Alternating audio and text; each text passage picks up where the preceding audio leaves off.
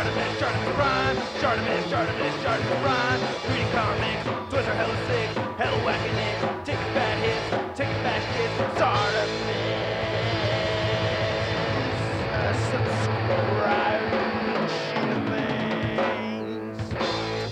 Damn it. Hey, what's up, you guys? Shartimus Prime here, doing another Marvel Legends action figure review on the Marvel Legends What If Disney Plus series Watcher Build a Figure Waves Heist Nebula. If you get your Marvel Legends, you can do so.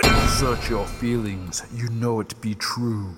Dorkside Toys is for you. Link below. Down there, I ask you to please hit that like button, and if you're new here, hit that subscribe button and that notification bell to make sure my videos pop up in your feed. And this is a pretty cool concept over here. I liked the Nebula, I gotta say, on the side, nice image of Nebula.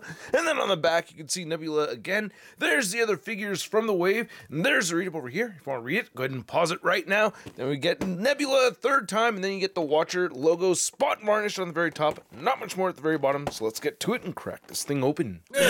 And here's Nebula out of the packaging, and I'm actually really not that excited for the figure. It's mostly a repaint, but we get a new head sculpt over here and a few accessories. So let's get a closer look at those, and then we'll get a closer look at the figure. So we get the Build-A-Figure pieces, which is like the weirdest combination of Build-A-Figure parts I've actually ever seen. Yeah, four different little Build-A-Figure pieces over here. But anyway, you get these two sets of interchangeable hands. Well, a set of gun-holding hands. The left side has a horizontal hinge, the right side has a vertical hinge, and then we get vertical hinges on this left fist and this open hand that we're all kind of tired of, and a new gun, which looks cool. I don't remember seeing this before, but yeah, looks all right. Very kind of like comic booky version gun, so pretty neat.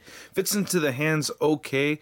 Uh, getting the fi- trigger finger on the left side, which is the hand I like to use the most, can be a little bit tricky, but you know, it works. And we also get a holster on her right hip over here, which works perfectly with this gun, so just port in there, and now it's all holstered.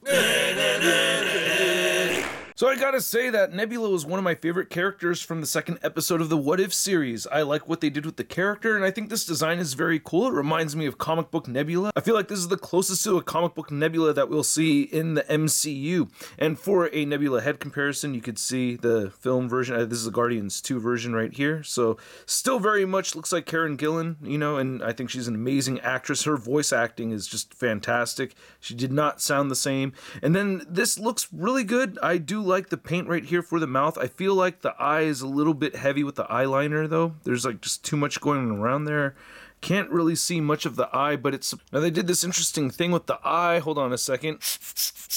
Yeah, that's really a little white speck they put in there just for reflection because she has pitch black eyes. So, yeah, I thought that was a cool, nice little touch. And there's a little bit of darker blue over on the cheek. So, I think that's a neat little touch as well. Hair looks really good. I like the sculpt of it. You know, it's all swafting and swafting and wafting all over the place. It's really tricky to pick up on camera, but there is a color variation throughout the hair. So, it does have subtle highlights, especially when you look at the top. Very, very subtle because it's such a light blonde color. As far as the rest of the figure, we do get a new upper torso. It's not exactly the same as the movie version, and the lower torso and everything else except for the left arm is the same. Oh, I guess the right arm. So yeah, same old arms that we've seen with Kate Bishop body mold figures, and then we get this new holster piece right here. Not a whole lot of paint going on, tons of sculpted detail, but that's just due to it being reused from an MCU figure.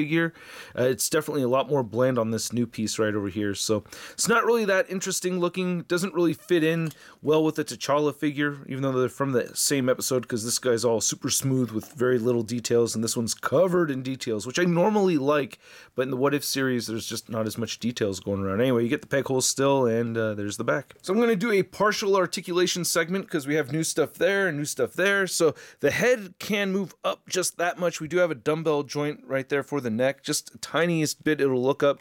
She'll look down that far, turn side to side pretty smoothly, and a little bit of head pivoting. And then with this new torso piece, it will still turn side to side at the diaphragm, pivot, move forward, back, and there's a tiny little bit of gappage. Now to measure out this figure, you can see that Nebula is standing just under the six and a half inch mark. Then for a size comparison, you can see the What If Nebula next to the Infinity War Thanos. And I have so many of these Thanos figures, I may get one customized to look like a Ravager Thanos. And by the way, I liked the relationship between these two in the episode. I mean, she saved his life.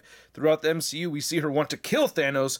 It's kind of interesting to see her save Thanos. Then for a Nebula comparison, you can see that we have our What If Nebula, then we have our Guardians 2 Nebula, and I want to see a head swap. Oh no, the ball pegs don't match, but you could rest this one right on there. That doesn't look bad. Wow, the stem for the dumbbell joint is really thin. And the head will pop on there. Wow, that looks weird. Yeah, a little long and everything, but I guess if you really wanted to make this work, you could make it work. And then here's Nebula next to all the other what if figures that I've already reviewed. We have the Captain Carter, we have the T'Challa Star Lord, and we have the Deluxe Hydra Stomper. And then here's Nebula next to your average 6 inch scale figure. We have the Marvel Legends Big Time Letdown Spider Man.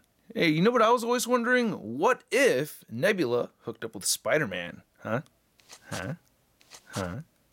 Huh? So I hope you guys enjoyed this video. If you did, show some love to the channel by simply clicking that like button. And if you're new here, be sure to hit that subscribe button as well as the notification bell so you don't miss out on any of my videos. It really does help people when they hit that notification bell. I found out yesterday. But anyway, big thanks also to all the people that support this content via Patreon. If you're in a position to do so, check it out. Link in the description below. This Nebula figure is not my favorite figure. I'm, it's not a figure that I was really looking forward to, and I'm not that thrilled about it. I like the new head sculpt, don't get me wrong, and I think the paint apps for the head sculpt look great and everything. So for that, I dig it. We get a new upper torso piece that doesn't look bad either. It flows well with the rest of the figure for the most part, but at the same time, not really too thrilled about having the figure. Maybe if I had a Ravager Thanos to go along with it, I would like it more. But really, it's a repainted figure that I just don't have a strong need for in the collection or anything. I might get a what if display for that. I would like it, but at the same time, I'm not interested in having that kind of display. So at the price point of around 25 bucks, I'm going to give this Nebula figure a Sun rating of I'll wait for the Black Friday sale. I'm just not that stoked for this figure. I don't know what else to tell you, but I'd like to know what you guys think. So let me know in the comments section below. If you want to see the latest in Marvel news and a photo gallery of images, you can find it all over at marvelousnews.com. And if you want to stay in touch with me on social media, you can find me on Instagram, Twitter, Twitch, and TikTok. I'm going to try to get another Marvel Legends review coming up later today, then a Carnage review set up for Saturday. So stay tuned for that, and I will catch you guys later. And thanks for watching. Peace.